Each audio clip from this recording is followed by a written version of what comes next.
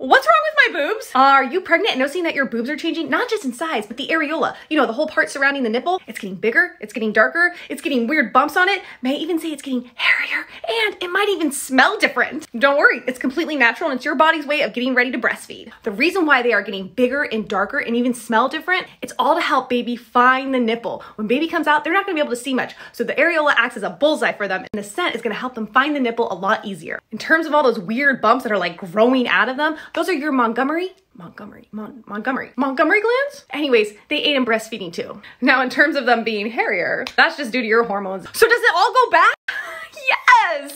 And no. So the bumps will subside when you are done breastfeeding. And your areola may go back to size, go back to color. I don't know because I have been pregnant and breastfeeding for the last six years because I've had four kids under five. If you like to talk about things that no one really prepares you for in pregnancy, birth, postpartum, and motherhood, let's be friends.